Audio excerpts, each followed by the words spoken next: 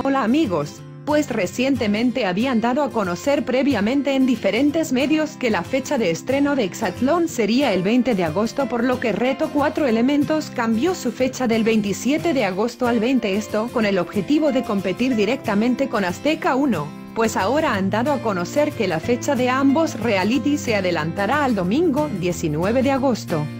Esta información aún no ha sido confirmada por las redes oficiales de Exatlón y Reto 4 Elementos, pero esto lo harán con el objetivo de cautivar al público desde el fin de semana. Y otra gran noticia se dio a conocer, esto es que posiblemente la isla la tendremos de regreso y esto con el objetivo de turnar primero teniendo Exatlón y posteriormente teniendo a la isla, siendo este último un formato más parecido al de Reto 4 Elementos. ¿Qué opinan amigos? ¿Qué les parecería ver estos grandes realities? Ahora sí las grandes televisoras nos estarán consintiendo de una manera increíble. ¿Cuál de los tres será su favorito?